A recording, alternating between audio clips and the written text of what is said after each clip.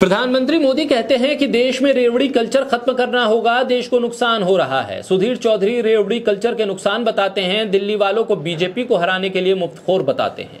वहीं मध्य प्रदेश के मुख्यमंत्री शिवराज सिंह चौहान चुनावी साल में कहते हैं कि रक्षाबंधन के लिए ढाई सौ रुपए दूँगा इसे कौन रेवड़ी कल्चर कहेगा? प्रधानमंत्री और सुधीर चौधरी क्यों ढाई सौ रुपए के फ़ायदे नहीं बताएँगे अब? क्या सुधीर चौधरी अब बताएँगे कि चुनाव से पहले ढाई सौ रुपए मिलने के कितने फ़ायदे होते हैं और कितनी मेहनत लगती है? इसे मुफ़्त खोरी या रेवड़ी कल्चर तो कतई नहीं बताएँगे। बोलता हिंदुस्तान पर मैं हूँ आपके साथ, बिरसा शाह मुख्यमंत्री लाडली बहन योजना की राशि अक्टूबर महीने से एक हज़ार रुपए से बढ़ाकर बारह सौ पचास रुपए कर दी। साथ ही लाडली बहनों को मुख्यमंत्री शिवराज सिंह चौहान ने राखी के त्योहार के लिए ढाई सौ रुपए खातों में डालने का ऐलान कर दिया।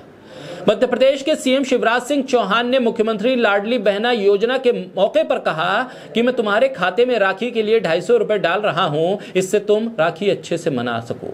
शिवराज सिंह चौहान जनता को भगवान बता रहे हैं और खुद को पुजारी कह रहे हैं मध्य प्रदेश को मंदिर बता रहे हैं। यानी पूरा धार्मिक रंग दे दिया गया है मध्य प्रदेश को हिंदू राज्य बना दिया गया है। हिंदू राष्ट्र की घोषणा तो नहीं हुई, लेकिन मध्य प्रदेश ज़रूर हिंदू राज्य बन गया। लेकिन सवाल यह है कि ढाई सौ रुपए मुफ़्त की रेवड़ी नहीं है क्या?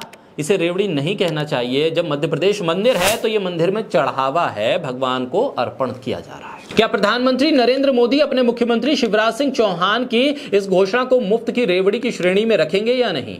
वैसे जो प्रधानमंत्री महाराष्ट्र के अजीत पवार को कोसने के बाद उन्हें उप मुख्यमंत्री बना सकते हैं, वो शिवराज सिंह चौहान को तो कुछ कहेंगे नहीं, शायद उम्मीद भी नहीं की जानी चाहिए। क्या शिवराज सिंह चौहान की घोषणा को कोई रेवड़ी कल्चर कह पाएगा? गोदी मीडिया का कोई एंकर बता पाएगा कि इसे किस श्रेणी में रखना चाहिए? क्या उम्मीद करें हम प्रधानमंत्री से या सुधीर चौधरी जैसे दूसरे गोदी मीडिया के एंकर से? जो दूसरी पार्टी की फ्री की घोषणाओं को रेवड़ी बता देते हैं और खुद पाँच किलो के आटे पर अपनी तस्वीर छपवा देते हैं। मध्य प्रदेश में शिवराज सिंह चौहान ढाई सौ रुपए देकर महिलाओं के वोट लेना चाहते हैं। अब इस ढाई सौ रुपए के बांटने के फ़ायदे सुधीर चौधरी जल्द ही ब्लैक एंड व्हाइट शो में बताएँगे। ये ढाई सौ रुपये मुफ़्त की रेवड़ी कतई नहीं है।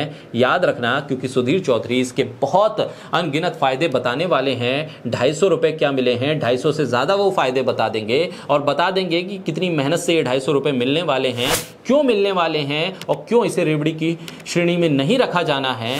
क्यों मुफ़्त शिक्षा, मुफ़्त पानी और मुफ़्त सफ़र, रेवड़ी है और ढाई सौ रुपये मेहनत की कमाई।